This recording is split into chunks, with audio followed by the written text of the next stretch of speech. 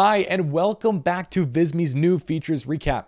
Over the past few weeks, we've been refining existing features to make your workflow more seamless and efficient. Plus, we've just launched something new to help you build a stronger foundation in design. So let's jump right in. Edit with AI just got a major upgrade. You can now use your own content and apply it to a template of your choice. Plus, we've expanded Edit with AI to support two new content types. Previously, it was available for presentations, documents, printables, and social media graphics. Now, you can also use it for web graphics and charts. There are now multiple ways to bring your own content into Edit with AI. In addition to answering template related questions, you can upload a document, PDF or doc, paste a link, or manually input text up to 2,000 characters.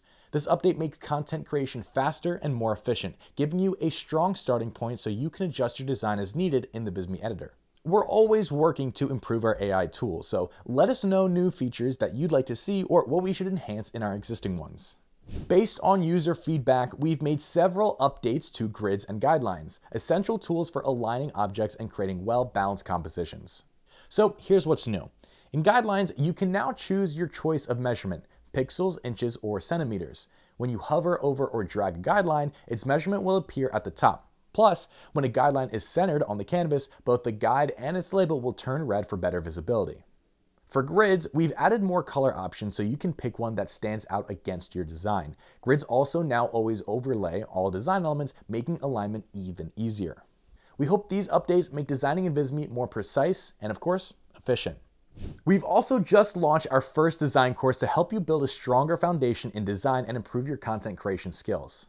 If you've been creating content with templates but still feel like your final designs could be better or tried to start a design from scratch, only to feel stuck on making it look amazing, then this course is for you. The Digital Designs Foundation course covers 11 lessons on essential design principles, structure, typography, color, consistency, layouts, and a whole lot more. By the end of the course, you'll have a solid understanding of how to craft better designs. Plus, you'll earn a certificate that you can show off on LinkedIn, your website, or your CV. The best part? It's completely free, and in just a couple hours, you'll gain skills that will improve every design you create from now on. Sign up today and we'll leave the link down in the description. So, I know it was quick, but that's a wrap on this month's feature recap. We hope these updates make your workflow smoother, and if there's a feature you'd love to see in Visme, let us know down in the comments.